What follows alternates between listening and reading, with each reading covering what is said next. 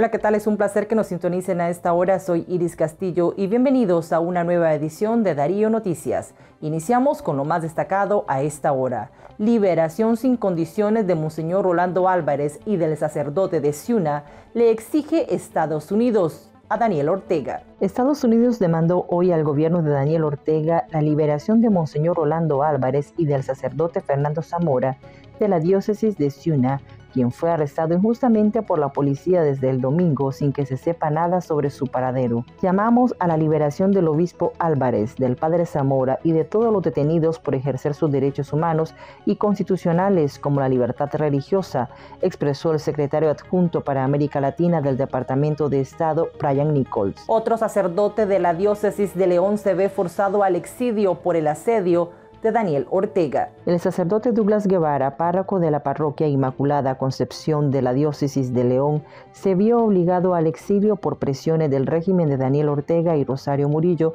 así lo dio a conocer la abogada e investigadora Marta Patricia Molina, que recopila datos de las violaciones a derechos humanos en Nicaragua. La abogada estima que entre el 2018 y 2023 unos 71 religiosos se han visto obligados a salir de Nicaragua. Rosario Murillo le quita el cargo de jefe policial a Sergio Gutiérrez quien apresó a Monseñor Rolando Álvarez. El protagonismo de Sergio Gutiérrez se hizo más relevante cuando el 4 de agosto del 2022, junto a su fuerte despliegue policial, asedió a Monseñor Rolando Álvarez y lo mantuvo secuestrado durante 16 días dentro de la curia de Matagalpa. De acuerdo a fuentes periodísticas, Gutiérrez intentaba sobrevivir a la sacudida dentro de la institución, pero fue purgado de las filas policiales por órdenes de Rosario Murillo, por portarse débil frente a Monseñor Rolando Álvarez. Daniel Ortega ordena la clausura y confiscación de otra organización católica en Nicaragua. Se trata de la Asociación Casa Ave María, una organización ecuménica que operaba en el país desde 1990, a la que el orteguismo acusa del incumplimiento a las leyes nacionales.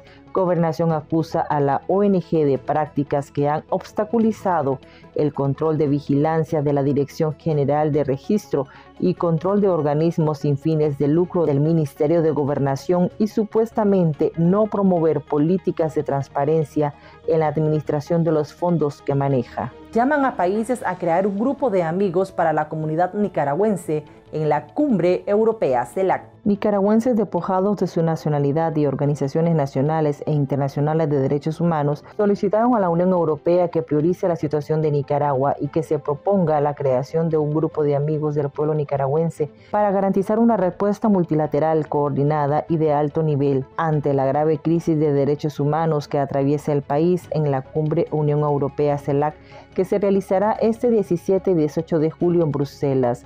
Según los firmantes, este futuro grupo debería celebrar reuniones de alto nivel para diseñar una estrategia de acciones pacíficas públicas y privadas que sean concertadas para buscar la liberación de los presos políticos, la justicia y la reparación de las víctimas de la represión. Y para más contenido informativo visita nuestras plataformas en streaming web y redes sociales. Suscríbete a nuestro canal de YouTube arroba Radio Darío.